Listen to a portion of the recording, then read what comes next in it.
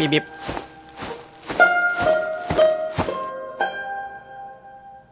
Путь из обители ожога в Стоат был настоящим испытанием. Пойма и русло реки – это была самая легкая часть путешествия. Но как только мы вошли в земли Святой Нации, нам то и дело попадались патрули паладинов, стаи костопсов и гнезда рвачей. Это поразительно, как кардинально поменялась окружающая среда за время моего полета. Нынешняя природа идеально адаптирована, чтобы убивать людей и других живых существ. Вот уж воистину выживает сильнейший. Слабые духом, телом и разумом тут просто обречены или на смерть от погодных условий, или на съедение какой-нибудь кровожадной тварью. И рвачи, и костопсы это не самое ужасное, что есть в новой экосистеме. Ожог рассказывал, что есть твари куда ужаснее и коварней. Кровавые пауки, кожаные пауки, живоглоты, горилла. И каждая из этих тварей норовит тебя сожрать живьем. И им все равно, что ты из железа. Они сначала раздерут тебя, а когда поймут, что ты несъедобен, просто пройдут мимо, оставляя тебя умирать. И хоть механические тела медленно, наверное, могут восстанавливать сервоприводы и микросхемы, но и они все же имеют свои пределы. У всего есть свой предел. Мне остается только одно – стать сильнее. С горем пополам в ущелье мы нашли скрытую тропу, которая вела в обход крепости щит Акрана. И снова я не устаю удивляться кульбитам судьбы. Ведь шансы, что мы прошли бы через щит Акрана, были нулевые. Да что там, учитывая те отряды паладинов, которые там караулят, наши шансы были даже минусовые. Даже издалека было ясно видно, что там несут дежурство минимум полсотни паладинов.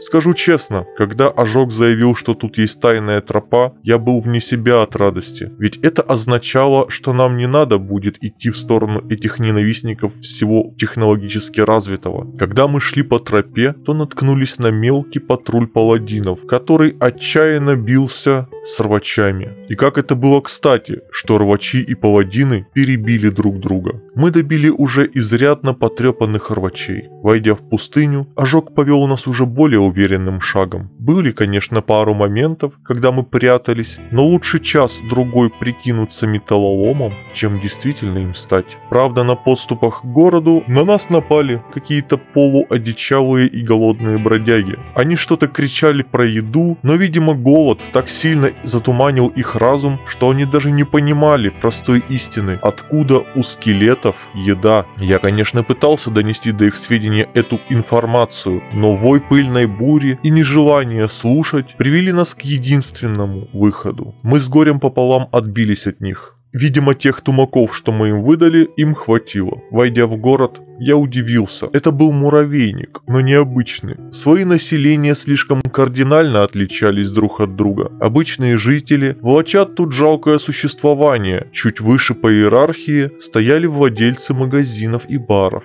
Ну и знать, знать тут заправляет всем. Вся обстановка и атмосфера города прямо кричит, что тут процветает рабство. Рабы буквально везде, они ниже скота по положению. К слову, стать рабом тут проще простого. Достаточно потерять сознание, и если ты не дворянин, то к тебе совершенно спокойно могут подойти охотники на людей или работорговцы и надеть на тебя кандалы. И ты даже не докажешь, что был свободным человеком. Ты даже не докажешь, что ты был человеком. Зато купить дом оказалось проще простого. Ожог быстро провел нас в местную администрацию, и мы, выложив энную сумму кат, легко и просто получили бумаги и ключи от нашего нового дома. Заселившись, мы сразу построили устроили лабораторию и кровати и пошли в местный бар узнать последние новости. Газет, телевидения или радио в этом мире больше нету, а поэтому новости можно узнать лишь из сплетен местных завсегдатаев и странствующих торговцев. Зайдя в местный бар, мне в глаза бросилась одна дама. Она была молода и миловидна. Я подошел к ней и завел беседу. Ее звали Изуми, и она представилась как опытный медик и исследователь. Из разговора с ней я узнал, что что она жаждет открытий и знаний. А когда я сказал, что у нас в доме есть своя лаборатория, то она буквально умоляла меня взять ее к себе и проспонсировать ее исследовательскую деятельность. В общем, теперь среди нас есть живой человек, которому необходимо есть и пить, но не один. На выходе мрачный Нил проходил мимо очень рослой и крепкой женщины. Не знаю, чем он ей пришелся не по нраву. Видимо, тем, что она попросила его выпить с ней, а когда он сказал прямо, что скелеты не едят и не пьют, в итоге с визгом «ты меня не уважаешь» она одним ударом кулака свалила его на земь. Не скрою, я был сильно удивлен, что хрупкая женщина, хотя какая она к черту хрупкая, 2 метра ростом, крепкая баба, и она свалила скелета одним ударом, да еще и кулаком по железу, до сих пор не понимаю. Когда же мы с ожогом подскочили к Нилу, то эта барышня сказала, что зовут ее Ридли. В общем, слово за слово, и она, узнав, что мы пережили приключения, навязалась с нами. Отказать ей не мог, потому как не сильно хотел получить тумаков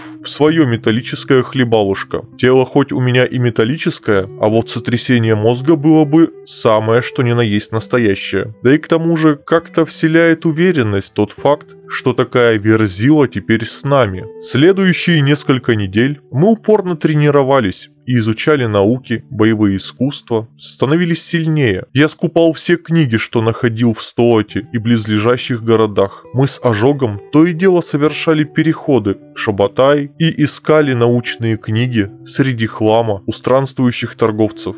Спустя время мы многое узнали и многому научились. Тренировки ума и тела дали о себе знать. Теперь мы можем более или менее постоять за себя. А это значит, что пришла пора переходить к следующей части плана, для успешной реализации которого нам необходимо свое поселение. Но сперва необходимо больше соратников. Полагаться лишь на скелетов было бы весьма глупо с моей стороны, потому как скелеты лишены одной, самой главной и нужной черты для будущего государства. Они не могут создавать потомство. Их популяция будет стабильна, а самая главная ценность любого государства, поселения, города – это человеческий ресурс. Именно этот ресурс определяет и стоимость местной валюты, и потенциал, и силу как города, так и государства. Скелеты могут выступать выступать в роли основной ударной и военной силы, а вот живые – это основа моей возрождающейся империи. Поэтому надо будет набрать надежных рекрутов, обучить их, и уже следующим шагом будет создание поселения, а также создание инфраструктуры в поселении, а следствие еще и обороны. Оборона – это главное. Жители должны быть уверены, что они под защитой и что со мной у них будет еда, вода, кровь над головой и надежная опора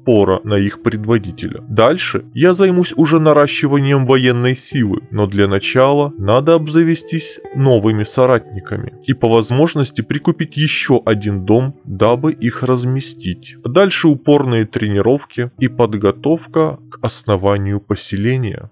А мы с вами продолжаем следить за приключениями Кимека Паттайи и его друзей Мрачный Нил, Ожог, Изуми и теперь уже с Иридли.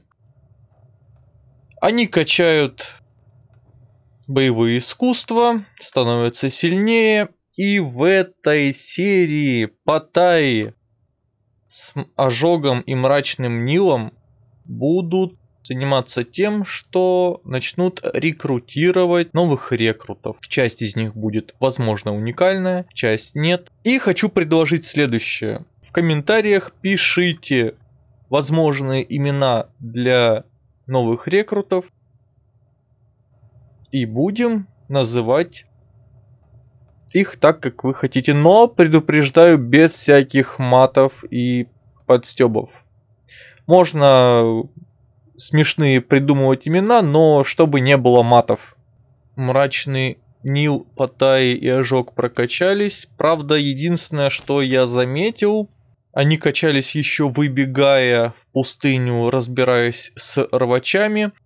В модификации Reactive World, когда персонажи дерутся, у них очень быстро качаются характеристики. Но спасает то, что я поставил усиление на дикую фауну, то есть дикая фауна намного жестче стала, что немножечко нам усложнит наше выживание.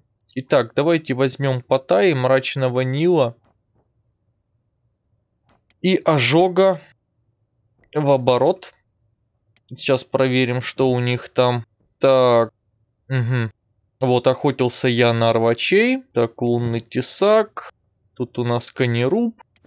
И топпер. Отличненько. Значит, давайте продадимся для начала. Чувак, я точно знаю, что тебе необходимы товары. Да, давай торговать. Я стопудово знаю, что тебе это необходимо. Даже если тебе не нужно, мне нужны деньги. Очень нужны, ты не поверишь насколько. Мы немножечко подзаработали, теперь давайте побегаем, поищем рекрутов. Во-первых, забежим в местный бар.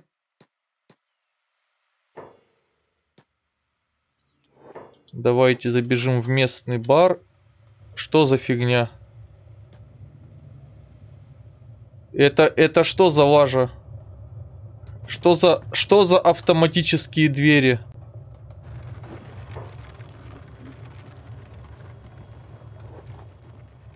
Uh,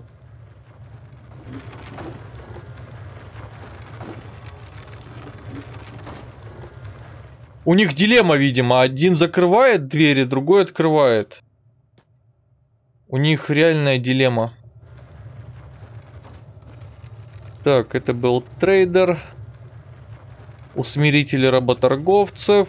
Варюга. Жинсей. Скитальцы. Жалко, тебя нельзя нанять. Ниндзя. Форен. Э, давайте подойдем. Спросим, кто ты. Привет, скиталец. Нужен кто-то, кто умеет вести себя в бою? Мои мечевые умения к твоим услугам. За семь с половиной тысяч кат. Хм. Давай.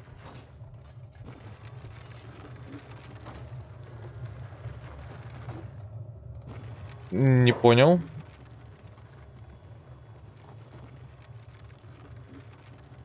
Перемена решения.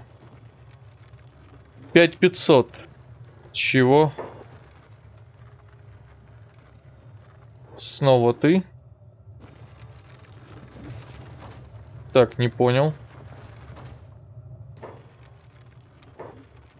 О, 5500. Что-то сбрасывалось постоянно, лаги какие-то. Ну, бывает иногда. Ой, какая у нас шляпка. Какая мадам с широкими бедрами. Давайте не будем ее менять.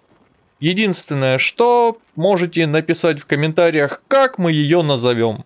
И в следующей серии мы будем переименовывать этих товарищей. Так, Форен мы наняли. Э, Патай, иди сюда. Вот к Патао. Патай нанимает Патао. Круто. Я опытный инженер и ищу работу. Есть такая? Да, есть. 6000 э, кат. Принят. Э, Патао тоже Чувак с проваленной грудью и с пивным животом. Ладно, берем. Так, тут вроде бы мы все, да? Мы тут вроде бы понанимали. Э, так, Паттайи, смотрим, здесь есть кто еще для найма?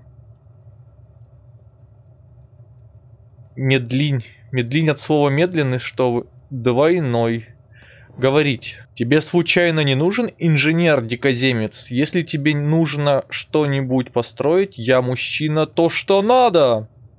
Сколько? 6 тысяч кат. Хм, ладно. Пойдет. О, у этого нормальная статура. Отлично. К тому же эти товарищи хороши в строительстве всего и вся, а также они хороши в создании доспехов и оружия. Они просто превосходны в этом деле. Так, сейчас мы отведем потолок вот сюда вот. Здесь тоже может быть... Может быть, да, может. Вон сидит улей. А вот сидят товарищи. Добро пожаловать, друг. Добро, конечно, пожаловать, но сейчас мне нужны рекруты. Итак, Форен, Патау и двойной. Двойной чего? Двой, двоечка Кирилла Терешина, что ли? Так. Давайте сюда. Значит, что по статам? Двойной. Сила 9, крепость восприятия нулевое. Кстати, вот этих вот троих архаровцев можно забульбенить в отличных стрелков. То есть скелеты будут у нас ближним боем, а вот эти товарищи дальним боем. Но для начала нам необходимо их подтянуть по статам. То есть сначала мы их ставим на прокачку крепости. Крепость качается на этой версии модов не выше 50 и очень долго. Но все равно это гораздо лучше, чем ставить их убиваться об кого-то. Тем более, что в этой, в этой сложности можно не просто убиться, а насмерть слечь. Ты тоже из других земель. Опасайся стражников, они нечестные типы, особенно если нет кат. Чтобы от них откупиться. Ну ладно, нужен мечник? Я ищу работу. Мне интересно. Рад слышать. Мне понадобится 6000 кат в залог. Ладно, но ты, по-моему, офигенный, дорогой чувак. Мечник, да? Как этого товарища назвать тоже? Напишите. О, а вот это уже Джавелин. Это уникальный рекрут. Глыть, глыть, глыть. Ты тоже здесь? Чтобы проспиртовать старые воспоминания, путник? Или ты тут нанимаешь? Нанимаю тут, а ты? И то, и то. У меня в диких землях был свой бар для усталых путешественников. Назывался Напористый Гар. Пока шекские варвары его не забрали. Но слушай, я думаю, мне повезло, что я сбежала целой. Пусть даже и потеряла свой любимый бар. Я просто чертовски скучаю по варке своего особого домашнего соуса для завсегдатаев. Значит, ты шеф?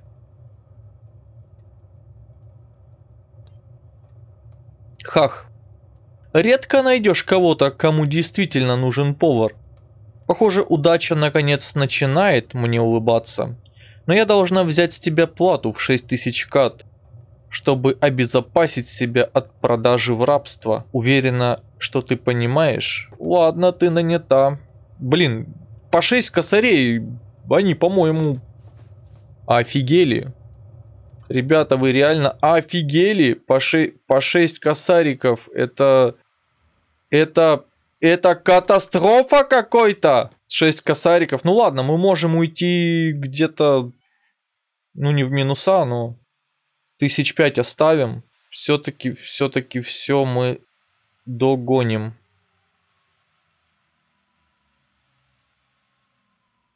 Этих тоже поставим. Сейчас посмотрим. Sales. Что у нас тут по навыкам? По навыкам не очень. Угу. Давай-ка ты тоже Sales сюда. Самоцвет по навыкам готовка 40. Очень даже очень.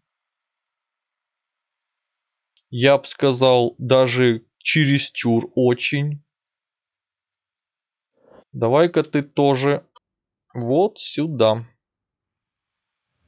И нам необходимо будет их кормить потом. Давайте сбегаем в Шобатай, потом сбегаем в Барк и сбегаем еще в Хен. Понанимаем рекрутов. Нам необходимо еще немножечко нанять Чтобы уже, когда мы будем создавать поселение, у нас была, во-первых, рабочая сила. Во-вторых, нам надо нанять пару принцев, чтобы они были турельщиками, потому что турели, арбалеты нам нужны для охраны. Так, ты у нас кто? Кома до поправки. Комуйся, чувак.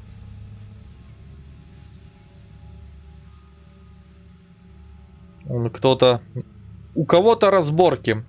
Так, а сейчас мы сделаем следующий мув. Сейчас мы сделаем следующую э, мульку в барке. Может быть уникальный рекрут, который с нами может завести беседу. Если у нас в отряде не больше трех человек, да? То есть мы создаем новый отряд. Э, здесь мы пишем, что Старая империя. Вот так. А здесь...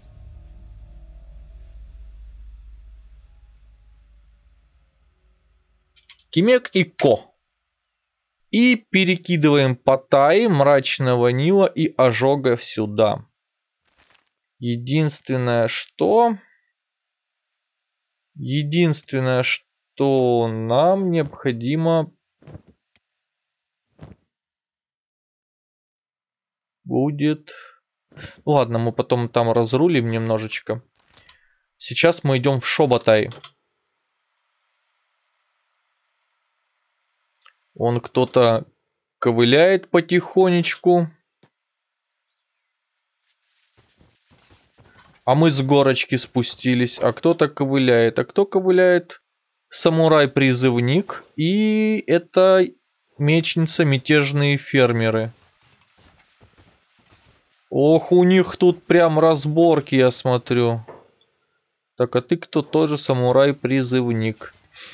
Как весело бежать самураю-призывнику за почти безруким фермером. Чего? Чего? Похоже, тебе немного не хватает телохранителей, бродяга. Это место просто кишит бандитами. Сохраняй бдительность. Чувак, я могу, в принципе, уже по статам Паттайи накостылять тебе. А ты всего лишь самурай-призывник. Поверь мне, я могу за себя постоять. Прибереги свои опасения для кого-нибудь другого. Как скажешь, бродяга. Ты еще напади на меня. Отхватишь таких звездюлей. Ах, ты ж ёкерный ты бабай. Так, э, давайте вме вместе, господа, вместе. Давайте, давайте. Вон там раб. Давайте немножечко ускорим на x2, чтобы было побыстрее.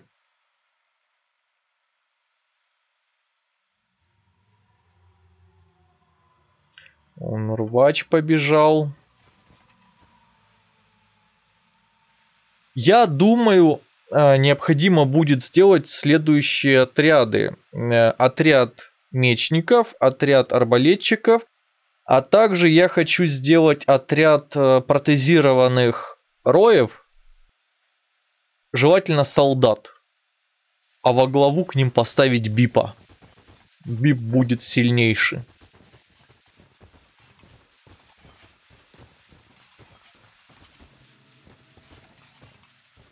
Так, заходим. Драдуйте. Драдуйте, драдуйте. Где, где у нас тут бар?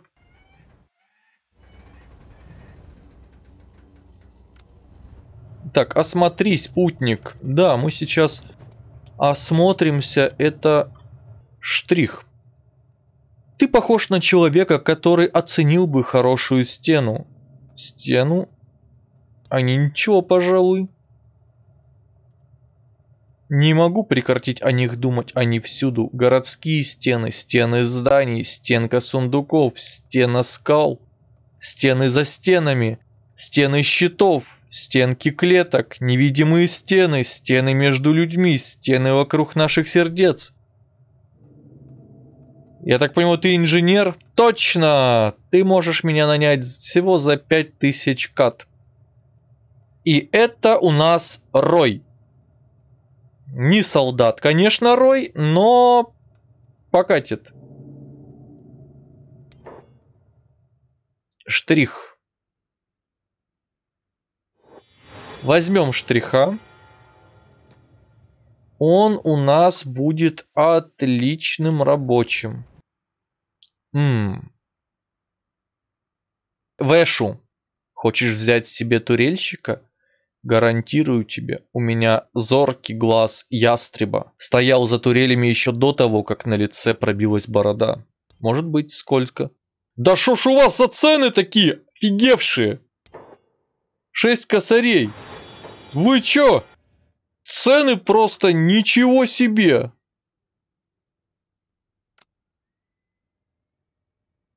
Шесть тысяч! Шесть, блин, тысяч! Шесть! Так, а тут кто у нас? Селянин. Это нет, это Шиноби, это... Такао. Случайно не нужен фермер? Взамен я прошу лишь простое товарищество и 4000 кат платы за наем. Ладно, ты нанят.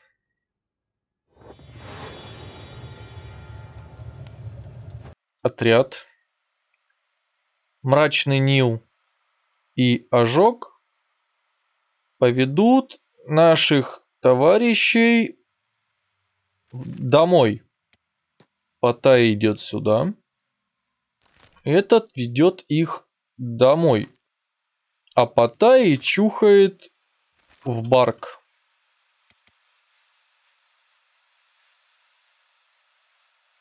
Мы пока последим за мрачным Нилом и всеми остальными. Так, они пока бегут, мы посмотрим, что там у нас Паттайи делает.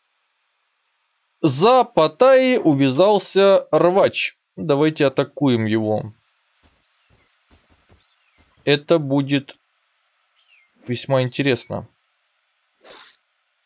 Паттайи приходует рвача по левой лапе и по левой ноге. Получает люлей. Причем, э, заметьте, с этим модом люлей Паттайи при своих статах отхватил ого-го. Он так конкретно вот его два удара у него уже половина груди просто нету. Его присунули. Он, конечно, тоже рвачу э, дает прикурить, но 2-3 рвача в подобной ситуации легко могут вывести даже прокачанного персонажа в нокаут. Поэтому мод мне даже нравится, я хочу сказать. Это весьма приятно, когда ты понимаешь, что у тебя прокачанный персонаж, а Патай относительно прок прокачанный, он не слабый. Это не слабая прокачка. Но даже с такой прокачкой все дело получается не сильно круто.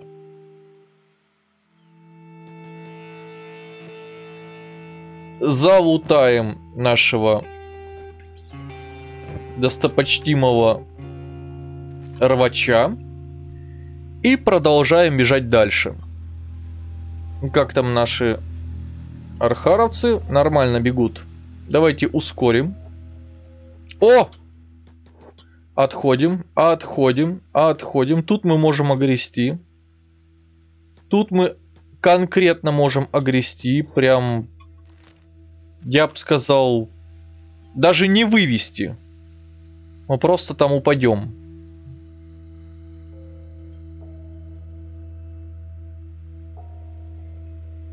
Обнаружен форт Мираж. Это форт союзных героев, да?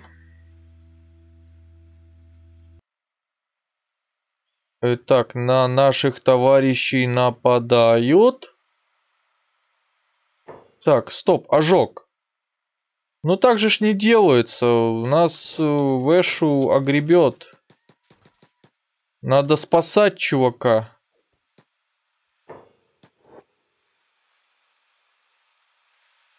Он же ж вон выгребет по полной. Вот ожог сейчас раздаст немножечко звездюлей.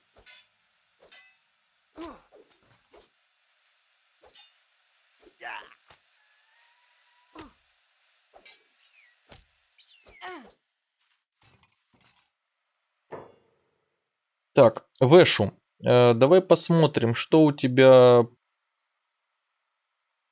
П-п-п. Ожог, иди сюда. Вэшу сюда. Ожог, надо это все дело...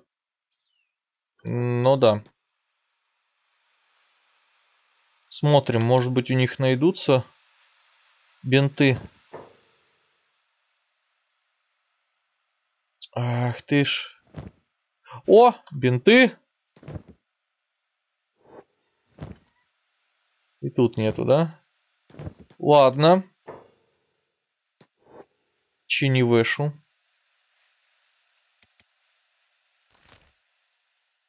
Так. Сюда. Беги.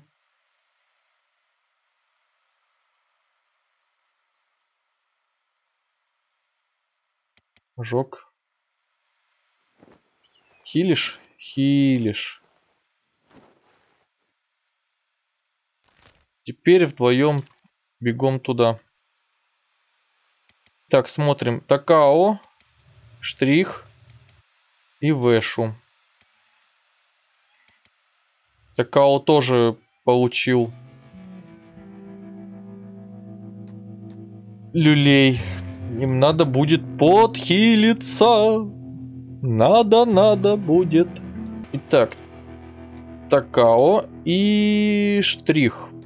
Ляжьте, полечитесь. Так, Мрачный Нил. Пока повыполняй задачи. Угу.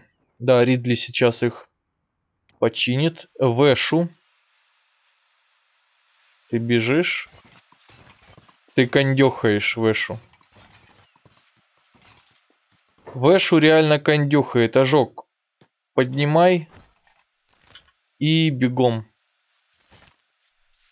Потому что он пока докондюхает. Чего? Пора испытать новый доспех. Ты у нас кто? Охотница, союзные города. А...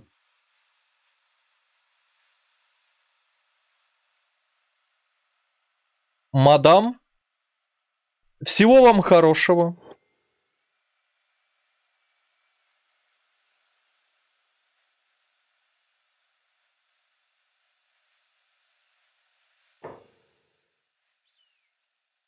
Всего вам хорошего.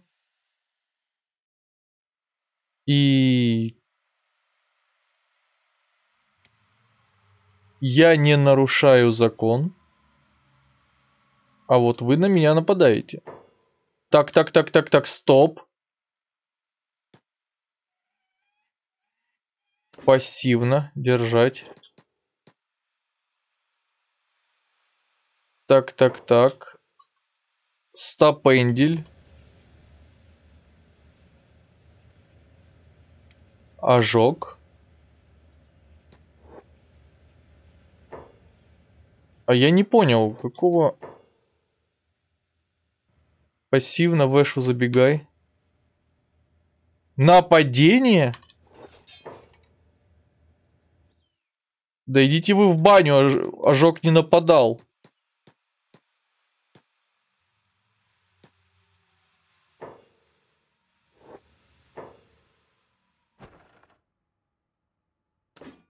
Вэшу пассивно. Закрываем. Итак, ожог, где ты тут? Давай, отбегай. Это у нас кто? Охотница за наградой.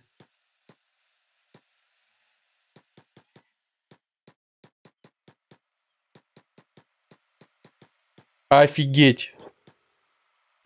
То есть вы поняли, да, система? Про проходишь мимо знатного, который где-то решает, что он хочет на тебя поохотиться. И стражи реально посрать, что ты ничего не делаешь. На тебя вешают награду, что ты напал. То есть не на тебя, а ты напал.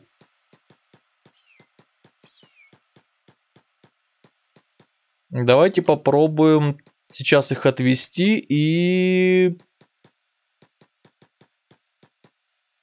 Во-первых, блок. Первых, во-вторых, держать.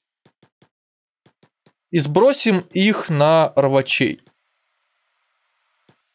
Да за, за нами погоня. Погоня, князь! Погоня! Вон, я вижу, рвач э, зарылся. Я просто вижу. Так, тут у нас это самурай. Союзные города.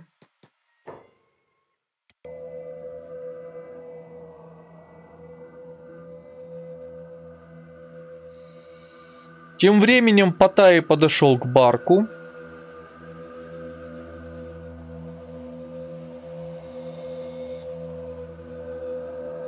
А мы посмотрим, как держится наш ожог. Ожог держится молодцом. А вот кто тут у нас? Вдалеке.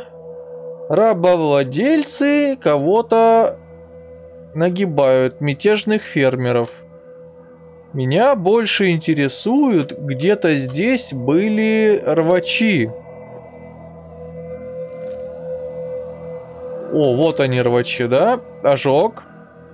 Радость моя. Мы бежим к рвачам. И пока бежишь, мы переключимся на Паттайи. И Паттайи пойдет посмотрит, что тут за город-то такой. Селянин, селянин. Как же ж, какие они надоедливые, серьезно. Очень надоедливые. Вот, вот наше спасение. Эти рвачи просто порвут этих товарищей.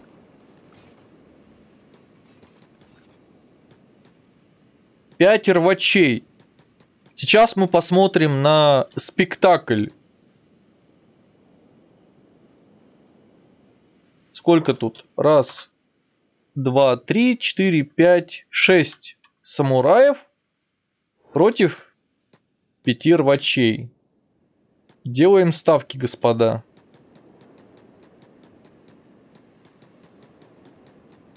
Итак, э, первый рвач согрелся, второй тоже, и... Иди помоги друзьям. Отвали от меня.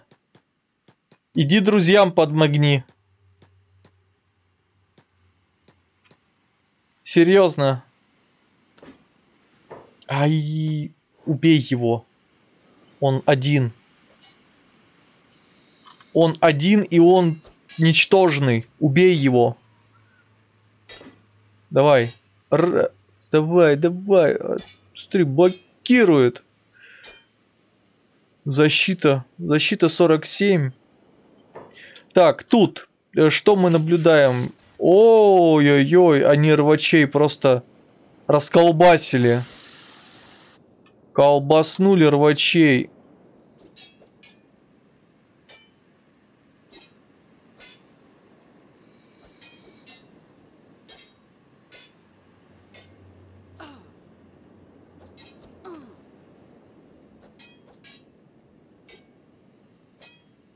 Ожог как лев дерется. Просто львиная битва. Битва двух тигриных львов.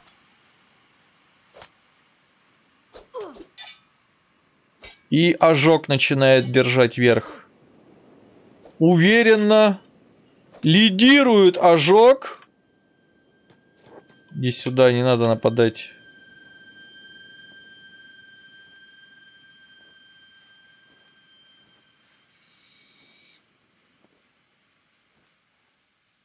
Так.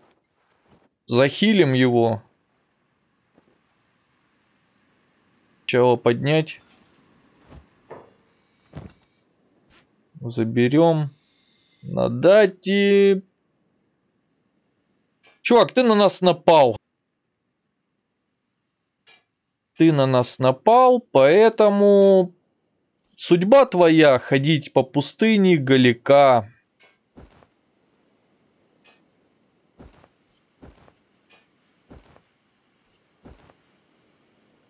Даже без оружия.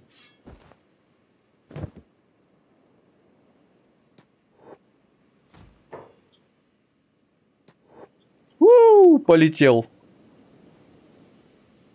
Похиль.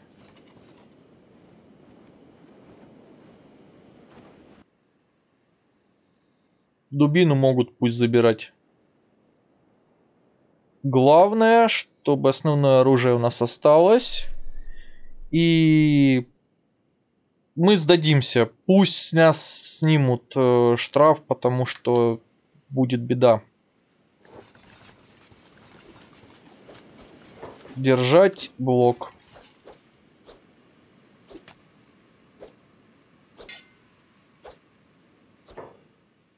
Вот мрази, да?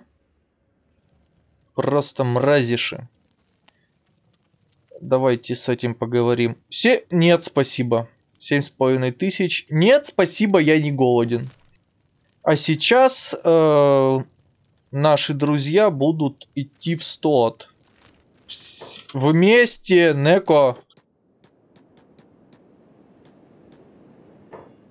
Алло.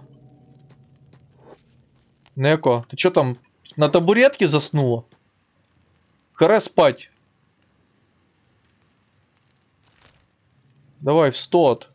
Шагом. Арш! Веселые ребята. Нет, мне определенно нравится. На нас напали, виноваты мы. У-у-у, вот. Метелить будем союзные города. Просто такую кару им сделаем небесную. Это люто будет.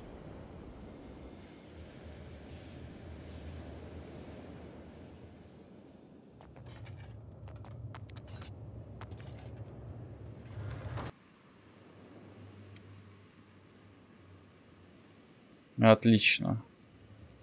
Наши друзья добрались. Сюда идите, ребятушки мои. Сюда, сюда, все сюда. Отличненько. Добрались все-таки. А, иди сюда. Держать задачи. Так. Отпустить. И мрачный Нил отпустить. Вот отлично, у нас только ожога еще не освободили, гады. Ну, в общем... В общем, так. Наши друзья добрались, и теперь они будут тренироваться до следующей серии, становиться сильнее. И в следующей серии мы уже будем начинать строить поселение и посмотрим, как все будет развиваться и продолжаться.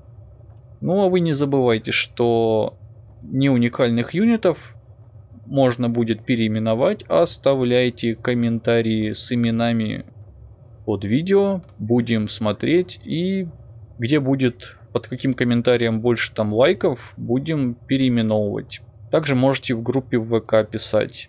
Э, я создам соответствующий раздел. Ну а на этом я с вами прощаюсь.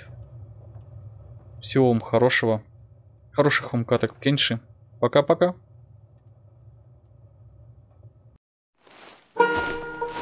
Бип-бип.